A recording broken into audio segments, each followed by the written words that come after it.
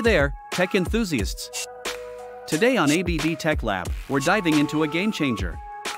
Honda just revealed something absolutely groundbreaking a forced induction V3 engine.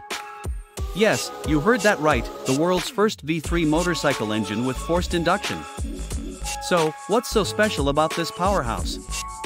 Let's break it down.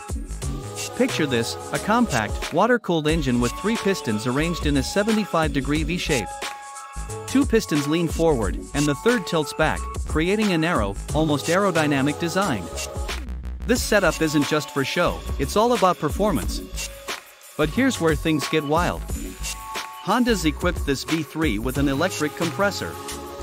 Unlike traditional superchargers or turbos, this tech kicks up torque even at low RPMs. Imagine having that extra power exactly when you need it, like blasting off at a stoplight or powering through a tight curve. Why forced induction? Simple. Motorcycles don't have a lot of extra space. This engine doesn't even need an intercooler, making it compact and flexible in terms of layout. Honda's vision here is clear, deliver raw power in a way that keeps the engine narrow, compact, and performance ready.